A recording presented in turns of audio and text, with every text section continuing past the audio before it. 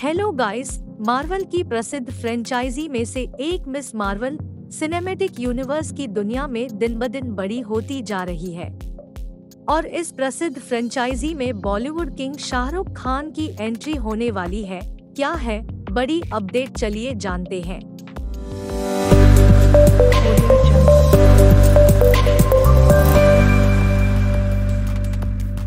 Hollywood की सबसे प्रसिद्ध फ्रेंचाइजी में से एक मार्वल सिनेमेटिक यूनिवर्स की दुनिया दिन ब दिन बड़ी होती जा रही है।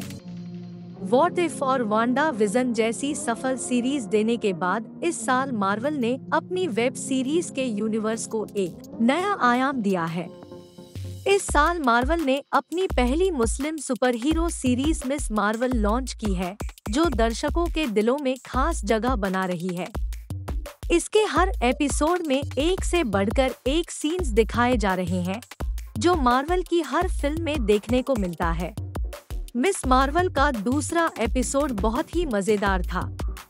हर एपिसोड में हमारी मिस मार्वल अपनी शक्तियों के साथ कुछ नया सीख रही है, जो उसे कॉन्फिडेंट बना रहा है। इसका ही नतीजा है कि उसने वर्षों बाद अपनी टीचर को सही करते हुए अपना नाम बताया। लेकिन हाल ही में इस सीरीज़ में कुछ ऐसा देखने को मिला है, जो साबित करता है कि सुपर हीरोज के इस यूनिवर्स में बॉलीवुड अपने पैर पसार रहा है।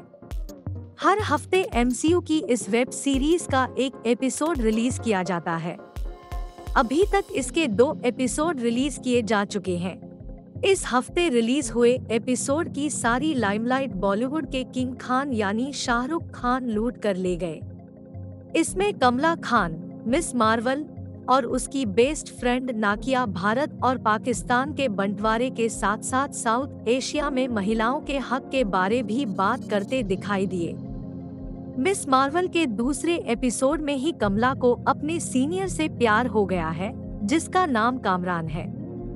हाल ही में प्रसारित हुए एपिसोड में कमला और कामरान की दोस्ती हो जाती है। जिसकी वजह शाहरुख खान के लिए दोनों का प्यार होता है। दोनों के बीच हुई पूरी बातचीत बॉलीवुड फ़िल्मों के इर्द गिर्द घूमती है। कमला कामरान से पूछती है, क्या उसने बॉलीवुड फ़िल्में देखी हैं? कामरान बड़ी दिलचस्पी लेकर इसका जवाब देता है। वह बोला हाँ लेकिन सिर्फ़ बेहतरीन फ़िल्में जैसे बाजीगर, इसके बाद दोनों डीडीएलजे के बारे में बात करती। है और यही बातचीत इस एपिसोड को इंटरेस्टिंग बनाती है। दोनों के बीच दोस्ती की कड़ी बन किंग खान फरहान अख्तर और फवाद खान की एंट्री से पहले सारी लाइमलाइट चुरा ले गए।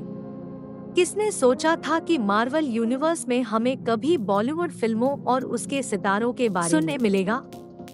बातचीत में हुई शाहरुख की इस एंट्री ने साबित कर दिया है कि दुनिया में बॉलीवुड और इसके स्टार्स क्या मुकाम रखते हैं। हमारी फ़िल्म इंडस्ट्री किसी से भी पीछे नहीं है। मार्वल की रची इस नई दुनिया को आप हर हफ़्ते डिज्नी प्लस हॉटस्टार पर देख सकते हैं। और यह भी दावा किया जा रहा है कि मिस मार्वल में बॉलीवुड की एंट्री हो सकती है। आपका क्या राय है? हमें कमेंट्स में बताना ना भूले।